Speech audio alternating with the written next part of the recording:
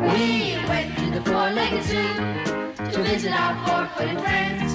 Lions and tigers, cats and dogs, a goat and a cow and a couple of hogs. A rhinoceros and, of course, a hippopotamus. And, oh, yes, a horse. And a railkin, bison, a gnu one too. giraffes and elephants, quite a few a llama, alpaca, vicuna, two zebras, ibexes, and one big kudu. It was swell. I liked the gazelle. She teaches school, you know. yeah, she took us in. Well, Miss Simpson said, If you counted every head on these quadrupeds, then multiplied that number by four, we'd know how many feet went through the door if we turned them all loose. Well, I don't do that. it's really a groovy zoo. But Anyway, what Miss Simpson said, it was a good chance to work on our fours in our head. One, two, three, four. I'll take a lion. One times four. He's got four legs and maybe more.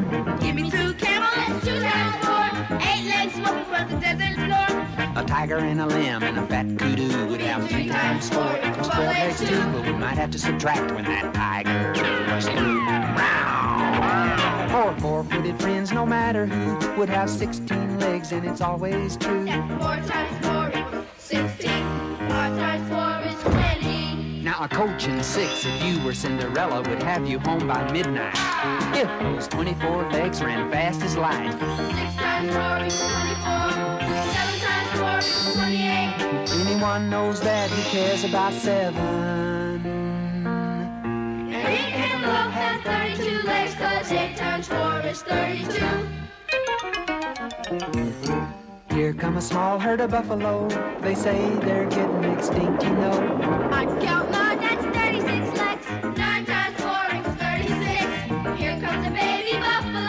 That's good, that's 10. But 10 times 4, you know, is 40. 11 coyotes Eleven times four been slinking over the prairie floor on all of their legs. equals forty-four. Now 12 times 4 is as high as we go. Twelve times four equals forty-eight. But there were so very, very many, many more animals standing there by the gate that we We have to use a pencil if we counted them all. And we really had fun. We saw everyone. A bear, a cougar, a jackal, a yak, a fox. Some deer and a sweet giraffe. And I can't remember how many, many more, but, But we multiplied them all by four. And some of them thanked us with a roar.